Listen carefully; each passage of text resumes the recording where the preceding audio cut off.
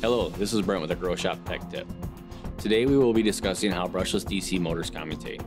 We will focus on wye connected brushless DC motor, or the BLDC motor for short, utilizing three Hall switches as feedback devices. While different devices can be used for feedback, like resolvers or encoders, Hall switches are the simplest. We have developed the timing diagram we will be using today to help you understand the commutation of our motors. Notice that the scale of the chart is in electrical degrees.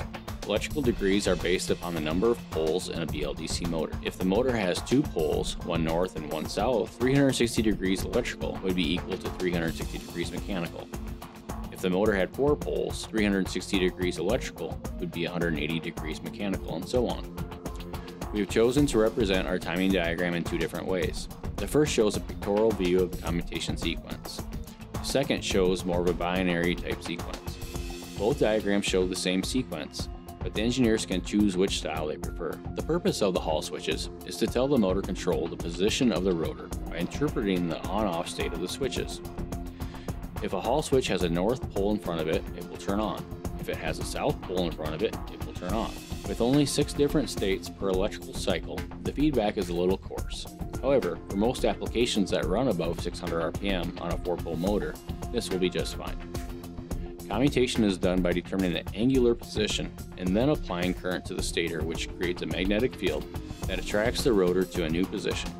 For instance, if the rotor is in the position shown at the beginning of the timing diagram, the Hall switches would read 1 on, 2 off, and 3 on.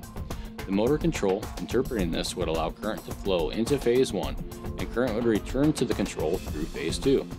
This would cause the rotor to rotate and the state of the Hall switches would change to 1 on, 2 off, 3 off. Current would still flow into phase 1, but instead it would return through phase 3. This sequence would continue through the next four states, and then start again at the first, giving us constant rotation. After each six steps, the motor will have rotated 360 electrical degrees. The timing diagram is important because not all motor and drive manufacturers label their switches and phases the same. By matching up the sequences of two data sheets, engineers are able to correctly determine the connection of the motor to the drive.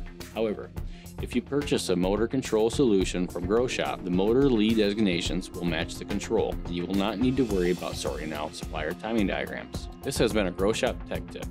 For more information about any of our products or to view other tech tips, please visit us online at www.groschopp.com.